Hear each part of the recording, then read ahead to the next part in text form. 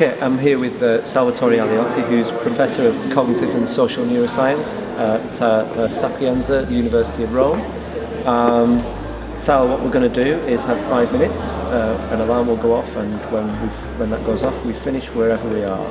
Um, Salvatore has just won the uh, the Senior Investigator Award of, uh, of, of, this year's uh, conference, and he's got a massive body of work behind him. So let's find out how you got into transcranial magnetic stimulation in the first place. Well, I started several years ago now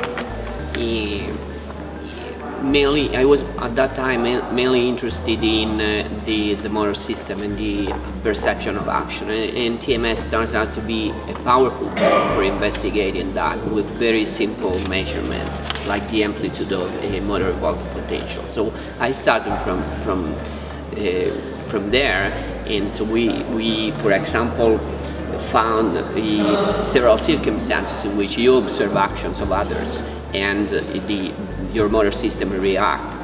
But also we tested with, using some illusions that, for example, if you don't feel that the hand moving is your hand, then there is like a suppression. So with this simple um, proxy to the functionality of the motor system, it's also able to tell uh, uh, things about the self. Okay. So you're using uh, physiological measures, uh, uh, quite simple physiological measures, to probe really quite complex psychological processes. And uh, could you tell us a little bit about two domains? One is the the, the social, uh, and and the other is is maybe some work that you've been doing recently on, on experts. Okay, so I'll start with the first one, like the, the social part.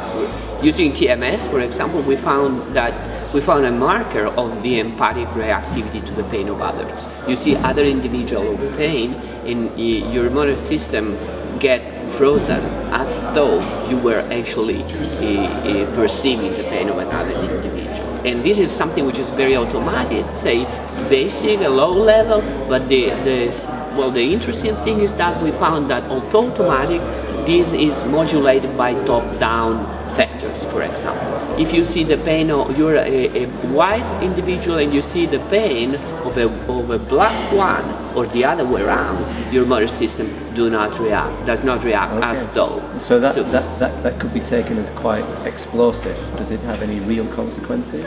Is it a predictor of anything, like the implicit attitudes? Test? Yeah, exactly that. So the, the, this effect goes with the implicit association test. So the more you had this implicit bias, and none of the subjects we tested had an explicit bias. Like they, they all say, I'm not against white or against black, but they all have this implicit bias.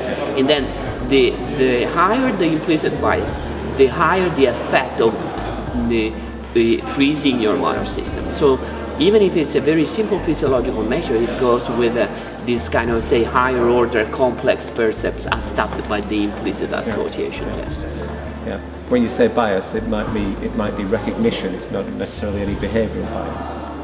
Well, it's actually it's based on this family of tests called implicit association that applies to a number of domains, and it's it's um, indexed by the um, the time that it gets you to associate, for example, to an group a positive quality, yeah. like beautiful and uh, to a black or beautiful to a white. If you're a white, you're like, uh, likely to be faster. So this is a kind of, of behavior which is not explicit. And uh, yeah, the, the, one important challenge is to see uh, when you find a explicit bias, and it's not the case of the of the, the race, the yeah. racial bias, whether this goes with the with the physiological measure. For example, now we are testing use this kind of design, device against fat people. Yeah.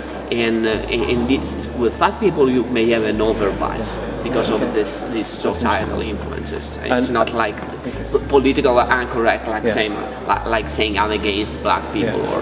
So, are, are, you, are, there any practical applications? do, you, do you work in any kind of practical domains with this? Yeah, um, the, the, possible development is that you try uh, you try and see if there is any um, relationship, which we don't have this data yet, with the, for example, the pro-social behavior. Yeah. Whether this may end up that when you have this kind of bias, and uh, because this would have important uh, consequences. We just have a paper um, coming out on, for example, the fact that if you Wow. Five minutes. We don't know what your paper is going to be about, and that's why I'm not going to cite it.